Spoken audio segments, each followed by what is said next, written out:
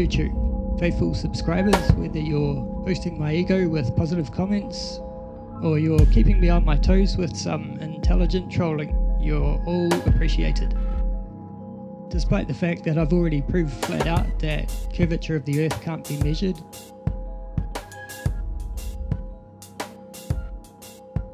and that that is not due to any kind of atmospheric refraction, light bending,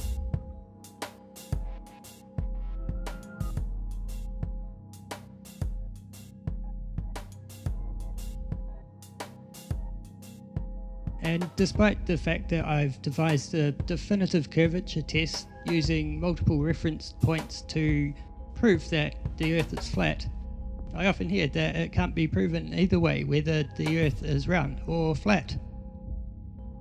So I'm going to take the flatness test a few steps further and go into a bit more detail to prove once and for all that we're living on a plane.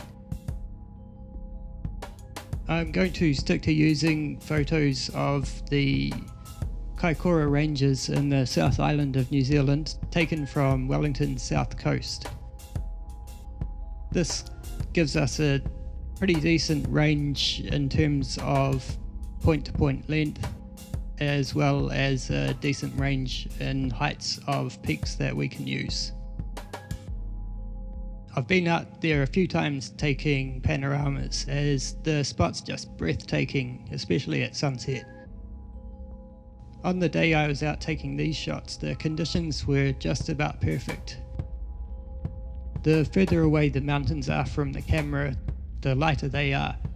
That's because there's more atmosphere between us and the further mountains, so they get kind of washed out pretty obvious, but this photo demonstrates it nicely. I'm going to pick out a few prominent peaks and color code them for convenience.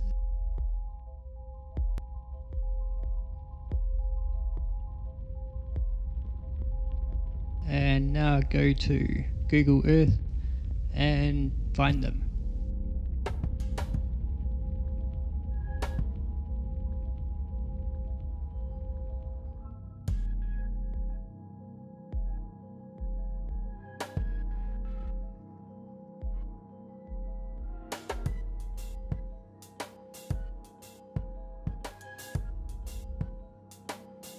And a few weeks later I've found them. It's pretty hard work, but I'm confident that I have found the right ones.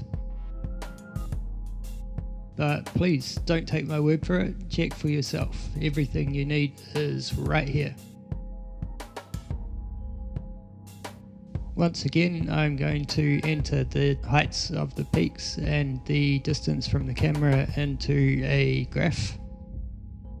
Now I go back to the photo and make a horizontal line at the height of each peak, color coded of course.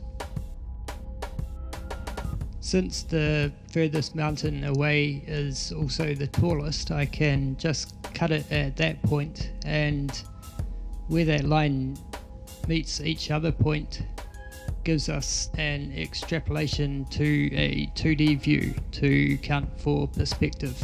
So hopefully it'll match up to the lines on the photo again. Let's have a look. And once again, pretty much perfect.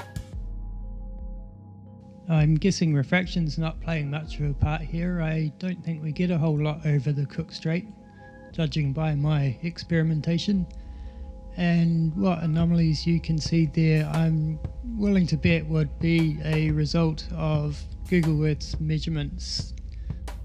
We can't expect Google to have accurate data for every nook and cranny in the Kiwi bush.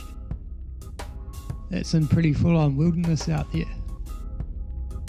Now I'm going to do the curvature calculations for each of those peaks and input that into a graph to do a comparison.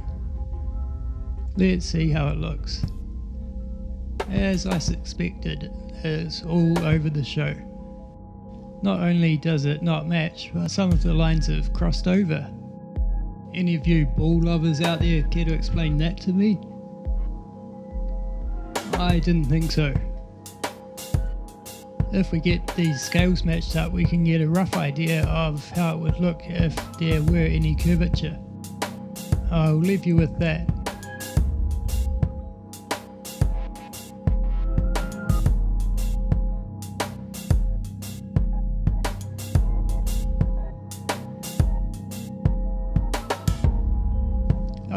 Say curvature thoroughly busted. Once again.